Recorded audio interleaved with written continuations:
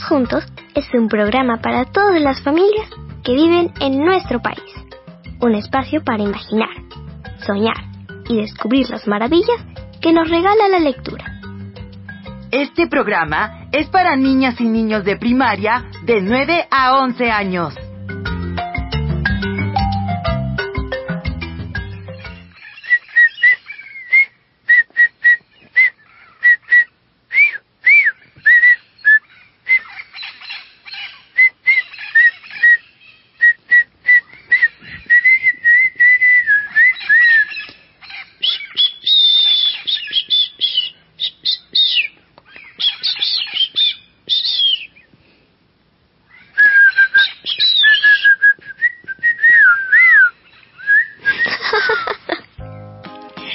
Buenos días, Carola. Como diría mi abuelita lambayecana, parecemos jilgueritos.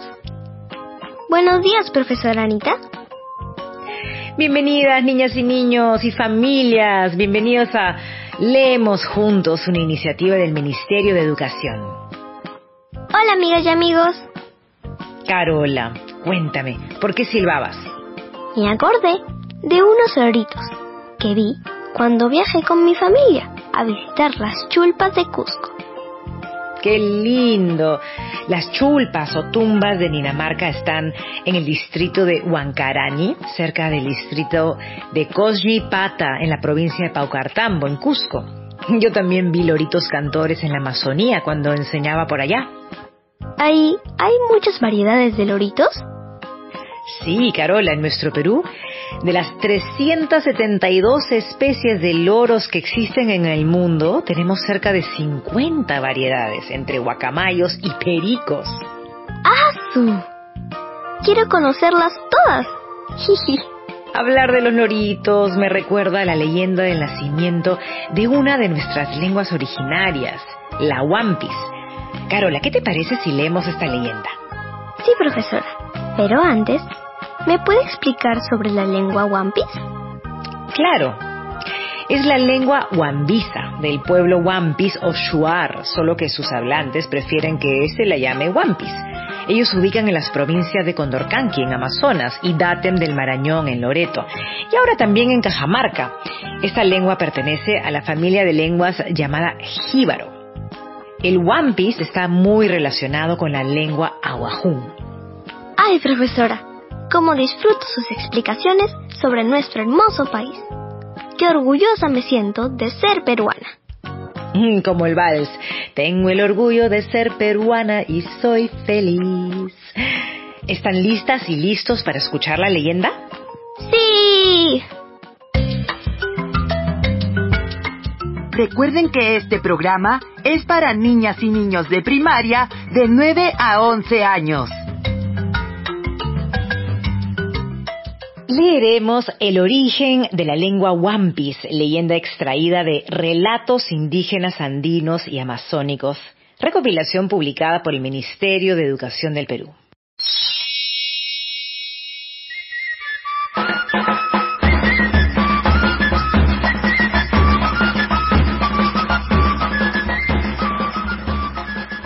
Un día, Etza, el sol, mientras era persona, juntó tres variedades de loros, Paraí, Cutuir y Aguarmas.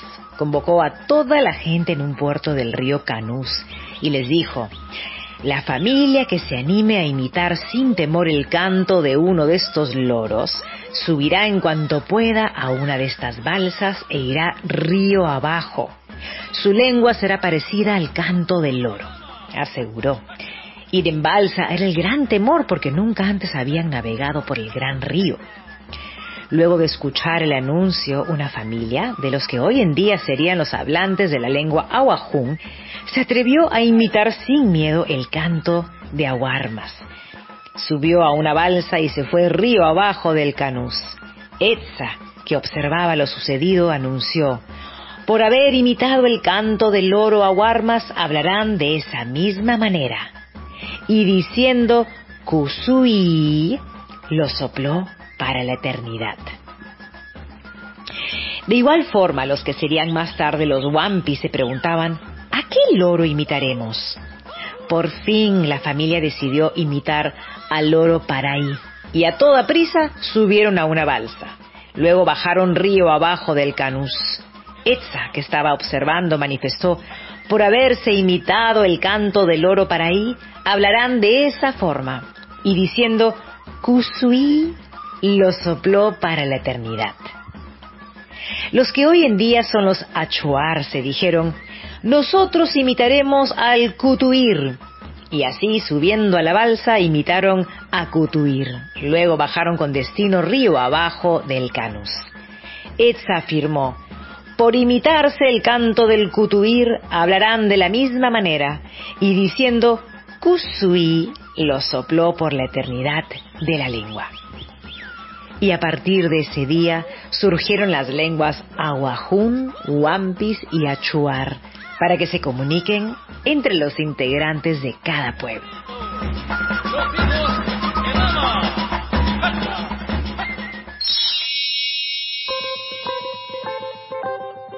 ¡Qué bonita leyenda! Sí, es una leyenda muy tierna. Entendí clarito cómo la lengua Wampis se relaciona con la Wahun. Esta leyenda lo dice, escuchen. A partir de ese día surgieron las lenguas Awahun, Wampis y Achuar para que se comuniquen entre los integrantes de cada pueblo. Muy bien, Carola. Cuéntame, ¿qué más te llamó la atención de la leyenda? Mm, que muchas culturas peruanas está presente el sol. Me gustan los diferentes nombres que tiene, como Inti en quechua, Etza en la Amazonía. Mmm, qué interesante. Tengo una idea. Voy a investigar cómo suena cada una de esas lenguas y así podré imaginar cómo es el canto de los loritos que nombran en la historia. ¿Qué dicen? ¡Uy, qué gran idea, Carola! Carola, buena decisión la de investigar. Cuanto más lees de cada tema, más aprendes. Sí, profesora. Con lo que leímos, entendí que las lenguas son distintas, pero que algunas tienen una misma familia. Así es, es hermoso tener una variedad de lenguas en nuestro país y debemos mantenerlas vivas. Que todas y todos se sientan orgullosas y orgullosos de su idioma. Así es, conocerlas para mantenerlas vivas. Por mi parte, he decidido hablar más idiomas, además de una lengua extranjera. Voy a aprender por lo menos dos lenguas peruanas, aparte de las que yo hablo. He dicho. Qué genial idea, Carola. Has tomado una decisión valiosa. Tú ya hablas español y quechua. Yo pensaré qué otra lengua nuestra aprenderé. Familias, las invito a conversar sobre las lenguas que conocen y lo que harían para aprender alguna de ellas. Amigas y amigos, en su pizarra palabrera, escriban las palabras que más les interesaron de esta experiencia lectora. Bueno, hora de despedirnos. Chao amigas y amigos. Hasta la próxima, familias.